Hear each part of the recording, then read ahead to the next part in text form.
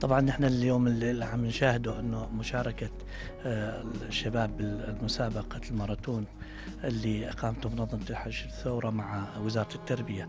بالتأكيد شفنا الشباب والكتب اللي مطلعين عليها واللي مناقشينها واللي حقيقة هي تجربة أولى تقيمها المنظمه آه، لأول مرة بتاريخ المنظمة تقام يقام هذا الماراثون الطلابي الشبابي وخصوصا للمرحلة الإعدادية.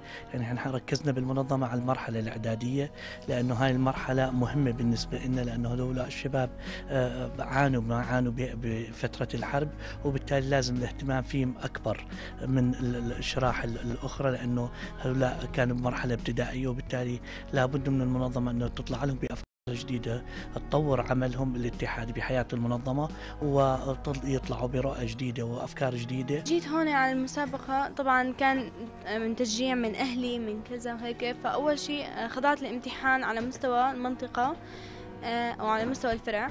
بعدين آه، هلا على مستوى سوريا. حضرنا أول شيء لل الروايات هو آه، قرأنا روايات قبل بس نحن حضرناهم لخصناهم هو عبارة.